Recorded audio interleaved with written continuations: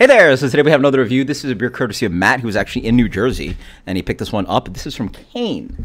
Uh, this is tomorrow is already here. If you're not familiar with Kane, Kane is uh, in I believe northern New Jersey. I've actually been to the tap room, so uh, they do hazy IPAs and all, uh, some other stuff. But in my opinion, we're, going like let's say like anywhere between five to ten years ago, uh, they were producing some. They were producing some of the best barrel aged imperial stouts in the world, in my opinion. Um, right up there with Bourbon County and a bunch of the top top producers. Uh, hell, Toppling Goliath even. Um, super underrated in my mind. Got to try a bunch of the beer at uh, Extreme Beer Festival every year they're there, and just completely impressed me. Anything that can be as world class as Bourbon County is insane in my mind, and they're they're um, a night to end all dawns. A night to end all dawns is um, just one of the goat barrel aged imperial stout um, series that I've ever had. So this is from them, uh, fresh new. I haven't had them in years. And this is their uh, Imperial Stout brewed with maple and aged in Heaven Hill bourbon barrels. 14%. Big, thick guy.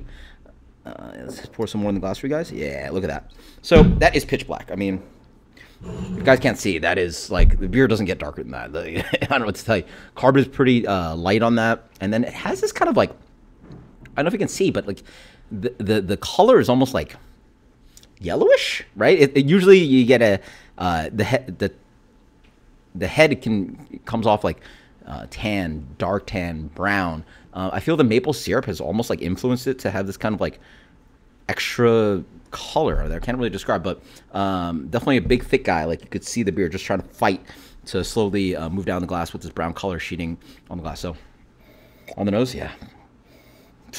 I have had a barrel aged imperial stout in a minute, and this is perfect for that big, rich bourbon character integrated with like uh, chocolate brownies, uh, espresso beans, um, this kind of like uh, Werther's uh, uh, caramels, um, almost like like liquid Cinnabon without like the the cinnamon character, but just like something that's sticky, sweet, and syrupy.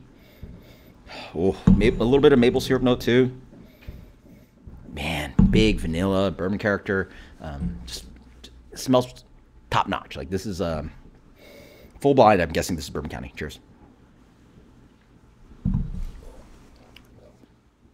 Oh, hot, big. This is a big boy. Thick boy. Woo! Um, definitely on the sweeter end. So um, that's necessarily a bad thing. Like, you know, you know, some of these beers are way too sweet. This is definitely on the sweeter end. I definitely say medium plus to full sweet. So if you're into that, go ahead. Um, but yeah, let's go ahead. But this is impressive big. First thing you notice, this beer is just thick. Carb is relatively light on it. It's mouth enveloping. Uh, again, Bourbon County esque all the time. Anything, anything that's Bourbon County esque is a huge, huge, huge compliment because that's, in my opinion, the goat of um, barrel imperial stouts. At least, you know, accessible way. Um, hugely thick, sweet, rich, milk chocolate, Hershey chocolate, a little bit of like um, like espresso beans, but then like covered around with like maple syrup and caramel. Um, you get a little bit of coconut, definitely lots of vanilla. The bourbon is beautifully integrated with this beer. You really can't like one of the great things about world class imperial uh, barrel aged imperial stout is when you can't figure out where the barrel starts and the beer, where you can't figure out where the barrel starts and ends and where the beer starts and ends. Right, where it's just it's just like layered in there. Uh, the the worst experiences are when you sort of like can taste the beer and then the bourbon sits on a different part of the palate where thin, where it makes the beer thin, makes the beer boozy, makes the beer oak and tannic. Um, this is just like all the way integrated that you know I can't really tell where the the bourbon and vanilla starts and where the chocolate and roast and base beer start or end. Right? They're just like married and integrated together. Mm-hmm. I mean, a good example is like make a vinaigrette, like vinegar and, and oil, and don't mix it up. So then get a spoon of it and just sort of get, like get part of your tongue tasting the vinegar, part of your tongue tasting the oil. Now blend it up real good, and now you get a vinaigrette where you can't even see the color difference, and then the palate sort of feels it, and it's like balance of like oil and vi- vinegar, where you know it's all just integrated in. Sort of what you do, uh, emulsification of flavors, right?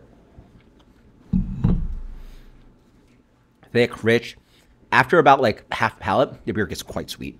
Um, it's mapley, it's sweet, um, but it's really nice, nicely balanced uh, with a little bit of char, a little high amount of alcohol, right? So the beer has a high amount of alcohol, but it's really well balanced. And for a beer that's so sticky, like So like, ideally, what I could, you know, we can use a refract, uh, refractometer or a hydrometer to sort of find the final gravity of this beer. The beer is ridiculously high finishing gravity, as in there's tons of sugar left in the beer.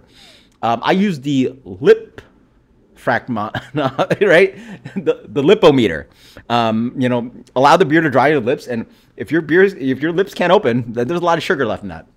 This beer has a very high residual sweetness to it, very high finishing gravity, and despite that, it ends up uh, finishing out and you know cleaning up pretty nicely, making the beer somewhat drinkable. Um, here we have a 69, it's 500 mil uh, bottle.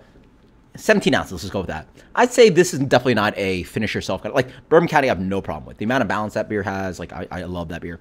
Um, this beer I would go like three ways, four ways. So like give somebody four to five ounces of this guy, and like you know I think that's a more reasonable amount. Granted, some people will call me crazy for being able to drink a whole uh, you know 500 milliliters of Bourbon County, but hey, uh, I'm not going anywhere, anywhere that night. I'm going to enjoy the hell out of that beer and let it sit. So, so this beer is relatively sweet. A beautifully executed um, barrel aged imperial stout, more on the pastry end. So if you like maple syrup, it doesn't have like weird flavors like Cheerios and cookies. You know, you know, you guys know what I'm talking about. Like this is the crazy stuff they put in um, um, pastry stout these days. But it's definitely on the sweeter end. So if you're into pastry stouts, you're gonna love this. You're gonna, you, you know, you're gonna go bonkers because this is a barrel aged pastry stout basically, and then, then you know those are the best in my opinion. That when you barrel age them and then and then add the adjuncts. Um, you know, maybe if Bourbon County made a maple variant that was very sweet, yeah, this would be like like that, which is a huge compliment because Bourbon County is you know so good. For me, lacking in balance because it's just so sweet. this beer is very sweet. Um, County is a very sweet beer, but I find balance in that beer because of the the lack of that mapley character. This is just so mapley um, and caramelly. It's a little bit detracting.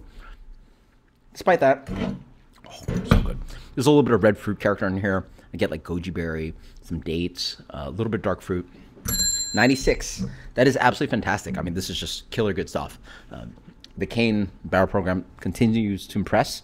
Uh, for me, again, you know, I, I, like a little bit less sweet and a little bit more balanced. But if you're into pastry barrel aged stuff, right up your alley is A plus stuff. Kane is killing it. Thank you, Matt, for getting this for me. Cheers later.